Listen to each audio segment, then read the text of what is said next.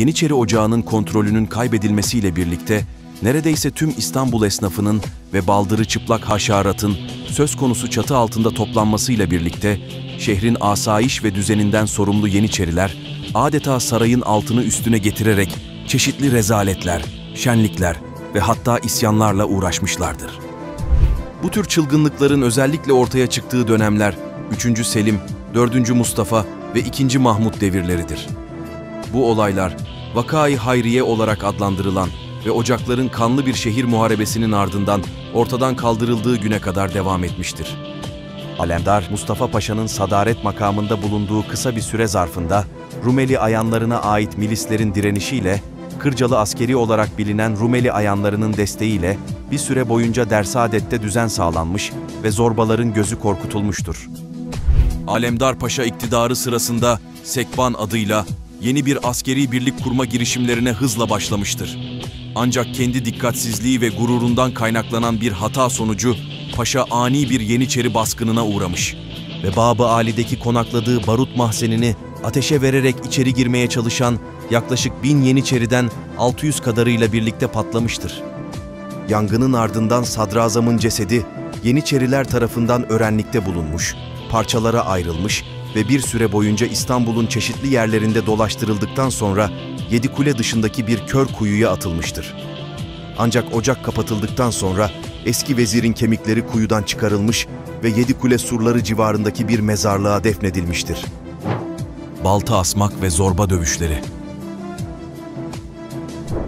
Yeniçeri zorbaları özellikle 18. yüzyılın ikinci yarısında İstanbul limanına gelen tüm mal ve erzak gemilerinin komisyonculuğunu pazı kuvvetleri ve yatağanlarının keskinliği ile kontrol altına almışlardır. Bu dönemde yaygın olan Yeniçeri kahvehanelerinin kapılarına asılan ve üye oldukları cemiyetin nişanı ile süslenmiş bir levhayı demir atmış ya da iskeleye palamar vermiş bir geminin burnuna asarak mal sahibinden veya gemi kaptanından istedikleri miktar koruma ücretini tahsil eden bu zorbalar herhangi bir kişiye hesap verme yükümlülüğü duymamaktadırlar. Günümüzde bile halk arasında musallat olma yerine kullanılan balta olmak tabiri, Yeniçerilerin gemilere astıkları nişanlara verdikleri balta isminden gelmektedir. Bir başka Yeniçeri zorbası, eğer gemide asılı olan balta yerine kendi nişanesini asarsa hemen oracıkta kanlı bir kavga başlar. Bu olaya sokak jargonunda bıçak altından geçirme denilmektedir. Eğer çatışma çözüme kavuşturulamazsa, özellikle Galata'daki hendekte günü saati ve tanıkları belirleyerek küçük çaplı bir mücadele ileri bir tarihe ertelenir. Tahmis zorbaları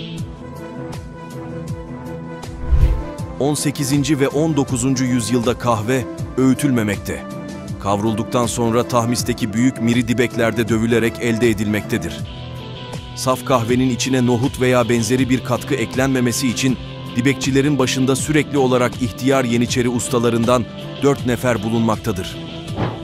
Günlük ortalama 2000 okka kahvenin dövüldüğü tahmis dibeklerindeki denetimden sorumlu olan bu Yeniçeriler, saf kahveyle gelenleri dibek başından zorla uzaklaştırmış ve ardından mahsule yarı yarıya nohut katarak ortaya çıkan farkın karını dibekçilerle paylaşmışlardır.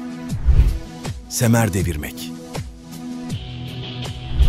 Yeniçeriler arasında bir yoldaşın mensup olduğu bir ortayı bırakıp başka bir ortaya geçmesini ifade eden bir terimdir. Bu durum, terk edilen orta yoldaşlarına karşı en ağır hakaret olarak kabul edilmiş ve bu tür durumlarda semer deviren nefer kesinlikle öldürülmüştür.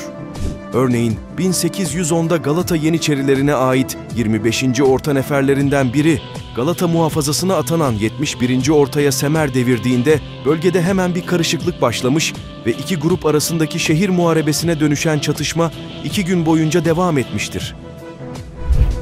Hamamlar ve Külhan Beyleri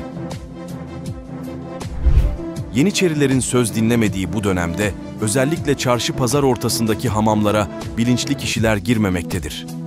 Zira bu hamamlara gaflete düşenler ya kötü duruma düşmüşlerdir ya da başlarına bela gelmeden oradan çıkamamışlardır.